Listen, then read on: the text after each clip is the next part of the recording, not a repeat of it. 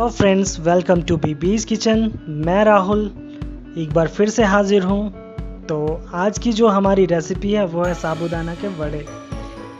तो साबूदाना के वड़े के लिए जो इंग्रेडिएंट्स है, वो आप यहाँ से देख लें। तो सबसे पहले हमने लिया साबूदाना। इसको हमने दो बार अच्छे से धो के छः घंटे पानी में भिगो के रखा था। तो अभी हम पीनट्स को रोस्ट करेंगे। फ्रेंड्स क्या आपको पता है ये साबुदाना बनता कैसे है? नहीं पता। दोस्तों, ये एक स्टार्च होता है जो कि टेपियोका नाम के पेड़ के जड़ से बनता है। तो अब हम ट्रांसफ़र करेंगे पीनट्स को एक मिक्सर जार में और इसको ग्राइंड करेंगे। ग्राइंड करके इसको महीन पाउडर बनाएँगे। और अभी हम दो बॉयल आलू को मिक्स करेंगे।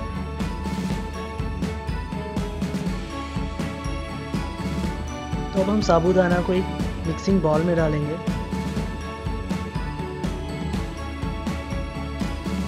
और अब उस पर जो हमारे मैस्ड पोटैटोज थे उसको डालेंगे। और अभी हम इस पर पीनट का पाउडर डालेंगे। रेड चिली हाफ़ स्पून और हाफ़ हाफ़ स्पून अभी हम इस पर जीरा पाउडर और कोरिएंडर पाउडर डालेंगे। और एक पिंच सिर्फ़ इस पर डालेंगे हिंग का। और अभी टू स्पून योगर्ट डालेंगे, दही।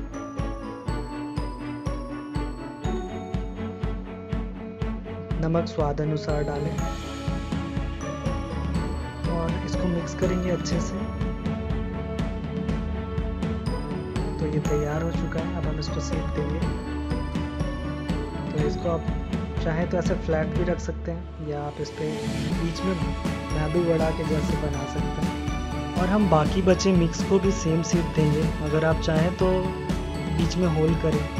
अगर नहीं चाहे तो फ्लैट ही रहने दें। तो अब हम इसको फ्राई करने के प्रोसेस पे चलते हैं। तो सबसे पहले एक पैन लेंगे और उस पर तेल डालेंगे गर्म होने के लिए। हाई फ्लेम पे गर्म करेंगे। तेल गर्म हो चुका है, अब हम एक एक करके ही वड़ा फ्राई करेंगे, क्योंकि इससे वड़े ख़राब नहीं होंगे।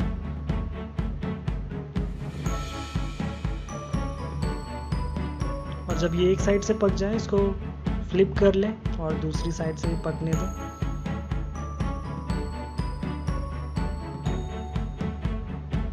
अब ये हो चुका है, इसको निकाल लेते हैं।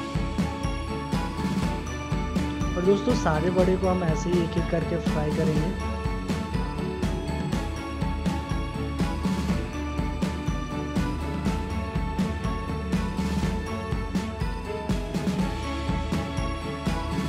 भी हो चुका है। चलिए, अब हम प्लेटिंग करते हैं।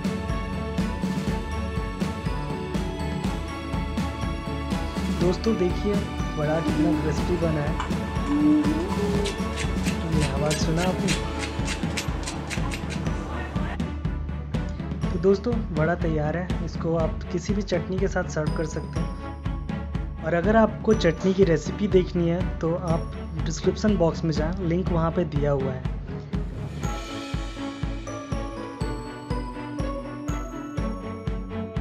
हेलो गाइस हमारे